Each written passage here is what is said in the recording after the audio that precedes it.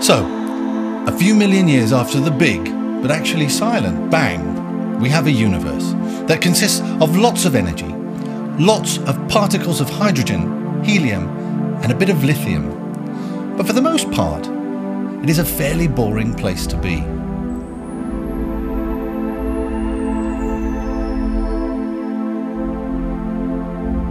How did we get all the diverse elements that make up the stuff we have today?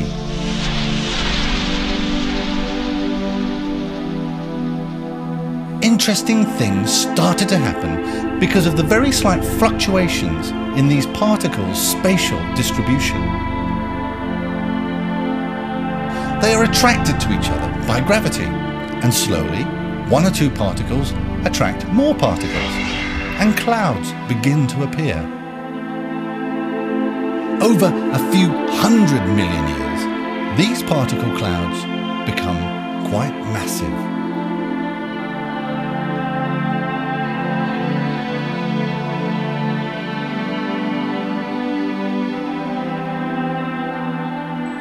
The clouds collapse in on themselves and become denser and hotter as they attract more energy and particles, until at 10 million degrees Celsius, the collisions of the individual hydrogen nuclei become so great that some fuse together to make helium nuclei. Subsequently, according to the reverse of E equals mc squared, a tiny amount of matter is transformed into an enormous amount of energy. This forms a powerful centre around which the energy pushing out prevents any further collapse and stabilises the structure, and a new star is born.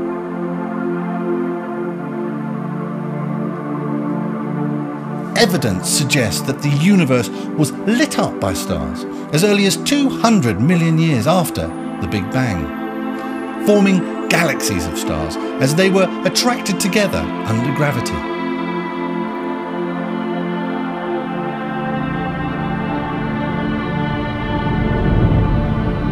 It appears that in the first few billion years of the cosmos, 50 to 100 billion galaxies were formed, and each one of these contained up to 100 billion stars.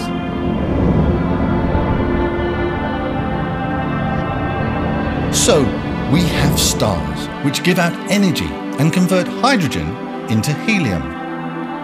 This is still not enough different stuff to make up our world today.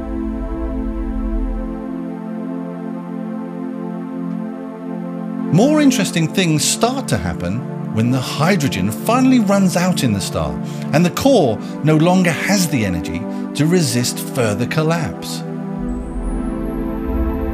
its temperature begins to rise again until it reaches 100 million degrees, and at that point it can fuse helium and expands to become a red giant.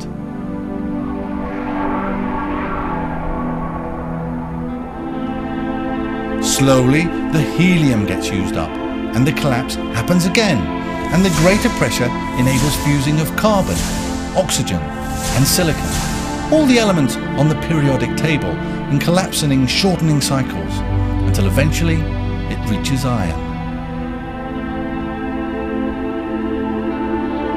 At this point in the very largest stars, there is a supernova explosion, which is so hot and pressurized that the heavier elements are made in a few intense seconds, all the way up to lead, gold, and uranium.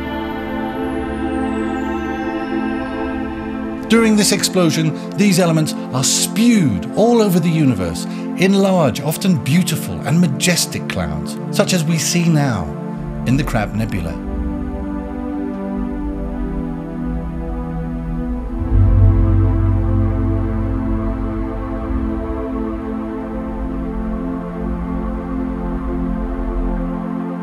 So essentially, that is where all the elements that we are made of come from.